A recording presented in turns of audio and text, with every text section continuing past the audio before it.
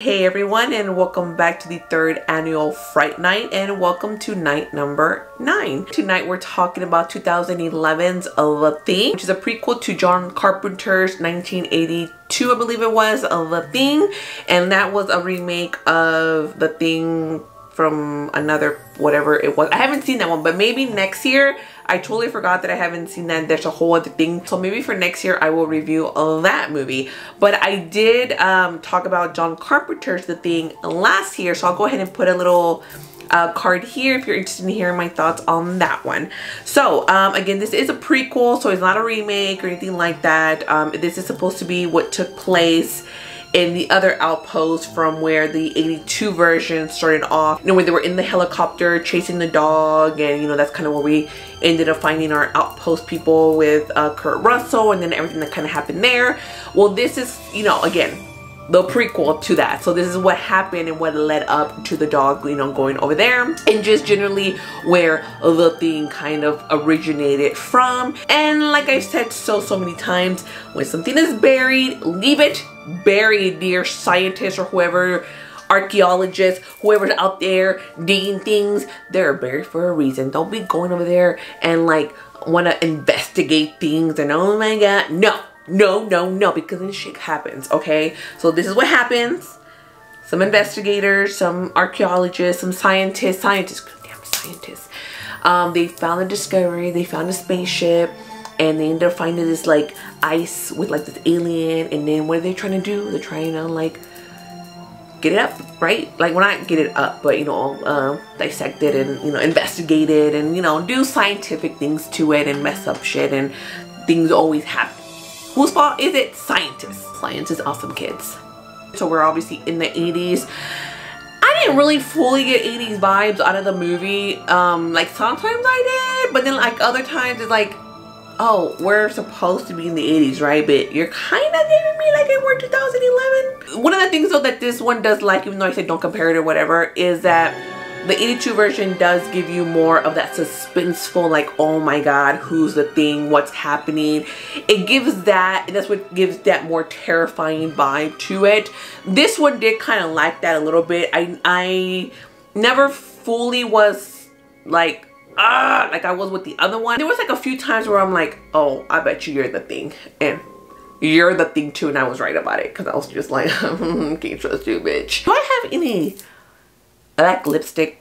It's a like black and red lipstick, y'all. It's terrible, right? So yeah, I did lack that little kind of magic, that suspenseful, like, oh my god, from the 80s. Um, but again, don't go in there comparing comparing the two, and though I am technically comparing the two The special effects here, the CGI was a little bit too CGI happy again it lacks the practical effects. There's nothing like a good practical effect. And let's face it the one from the 80s even though i'm doing it again i'm comparing night but you know just can't help it. I think this version also had a few practical effects. I think so. But for the most part it was very cgi like happy. And some of it wasn't really even that great. Um i can't even really say that it was good for its time because i just feel like it really wasn't. At the end of the day i feel like it gave me enough and you don't necessarily need to see the 82 version to see this one because again this was supposed to take place prior to that. Uh, but you do get of course more sense of where this thing actually came from. Um, at the end though when the movie finishes just kind of keep hang on uh, don't turn it off right away like let the credits kind of roll a little bit because at that time is when it obviously ties into the 82 version. But before I do give you my score, if you haven't already, don't forget to give this video a like, subscribe to the channel if you haven't yet. Don't forget to hit the notification bell so you'll be notified each time I post something new. So 2011's The Thing was a really good movie. I really, really enjoyed it. It did have me ah, at times as well. It wasn't as intense or frightening as John Carpenter's The Thing. I'm actually gonna give it a large popcorn. I really, really am. I really, really enjoyed it. Don't really remember hearing too much stuff back in 2011 I really wasn't into movie reviews so I really don't know what the general reviews overall of this movie are just because it is something that's coming from such a beloved movie I'm going with probably not the best reviews but you know that's why you one should watch a movie and make your own decisions and you know see where that goes. Let me put up the the light just a little but you're probably like oh my god stephanie i thought you should have it. I know but then we're not having the spooky vibes with it. Just to incorporate a little bit of my board game content on here because i've not been trying to do that a little bit more. Um, i do have the thing the game and i'm not gonna lie to you guys this is not the thing game that i wanted technically i wanted the one Infection at Outpost um whatever it is i forgot the number of it when i saw this one I thought it was kind of like Watergate and like the pandemic um, legacy games where, oh, that one was white and then this is black.